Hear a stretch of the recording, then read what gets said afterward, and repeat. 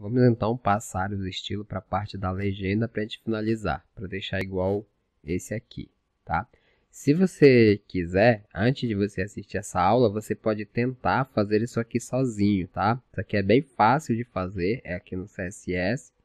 Então você pode tentar aí antes de assistir a aula, depois você assiste, para você ver como foi que eu fiz, tá? Talvez você faça diferente sozinho e eu faço diferente aqui e você consegue comparar o teu código com o meu aí.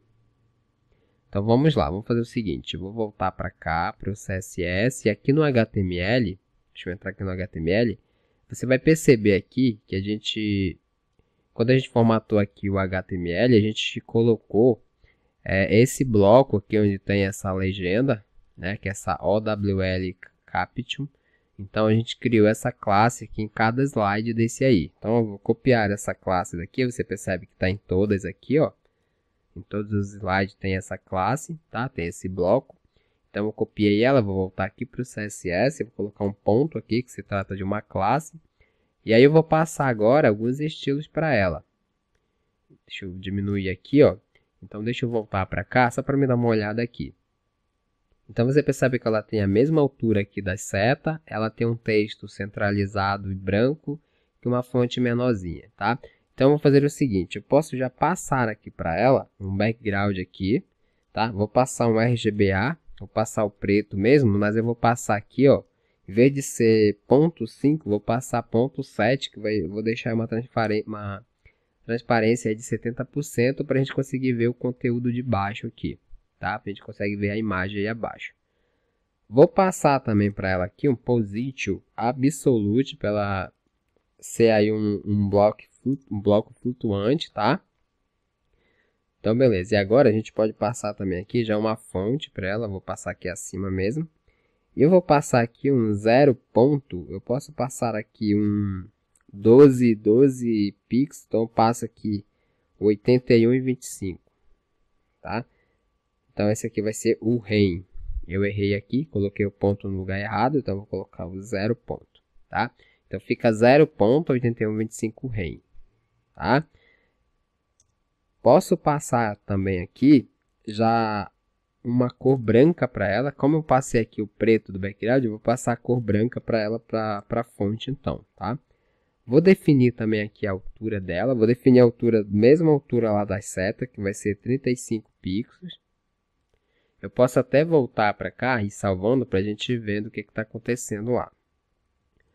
Olha só, então você percebe que como eu transformei ela aqui em Position Absolute, ela, ela fica aí do tamanho do texto dela, tá? Ela já está ali com 35 pixels, que a gente acabou de passar aqui. Eu vou duplicar isso aqui para me passar o Line 8, para ela, ela centralizar o texto aí na vertical. Você percebe que agora ele já centralizou. Posso passar também aqui um pad para ela.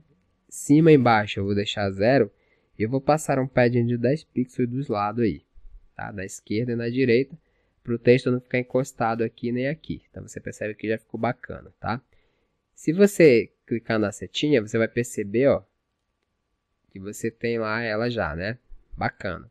O que eu vou fazer ainda aqui é passar aqui, ó, um button para ela, porque ela é lá embaixo. Então eu vou passar aqui um button de zero Vou salvar isso aqui, você vai perceber que ela vai ficar aqui abaixo da seta, ficou ali abaixo da seta, tranquilo.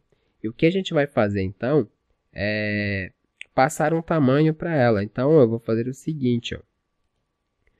É, o tamanho aqui da seta é 35, o tamanho da, da largura, né? 35 aqui. Então, vou copiar isso daqui, vou vir aqui abaixo do button mesmo e vou passar aqui. Só que aqui eu vou passar o calc. Eu quero fazer um cálculo aqui. Opa, o calc está errado. Passar o calc, tá? E aí, o que eu vou fazer é pegar aqui 100% dessa, desse bloco, 100% desse bloco aqui. E eu vou tirar menos 70 pixels dele, tá? Por que, que eu vou tirar 70 pixels? Porque o tamanho da minha seta aqui, de cada seta, é 35. Porém, a segunda seta eu joguei mais 35 pixels para cá para o lado. Então, somando 35 com 35 vai dar 70. Então, eu tenho que tirar os 70 aqui. Tá? E aí, eu tenho que jogar, começar minha, esse bloco aqui da, esse bloco aqui da, da legenda, eu, eu preciso começar ali no left aqui, 70 pixels, que é exatamente é, esses 70 pixels que ele tá, que ele tá aqui da seta, né? Então, vou fazer o seguinte, ó, vou vir aqui, ó, colocar o left nele, e aí eu vou colocar 70 pixels aqui. Você vai ver que já vai ficar certinho lá, ó, vou salvar isso aqui, ó. Você percebe que já ficou certinho, ele vai 100% aí até o final. Se eu aumentar isso aqui, ele vai ficar sempre 100%, tá? Porque eu fiz o seguinte, nesse cálculo aqui, eu peguei 100% e tirei 70%. Como ele está aqui para left, ele começa aqui sempre no 70%. E o tamanho dessas setas aqui, elas são fixas, elas não aumentam conforme eu aumento aqui a tela. Então, ela sempre vai ficar 100% aqui, vai ficar perfeito. Tá bom?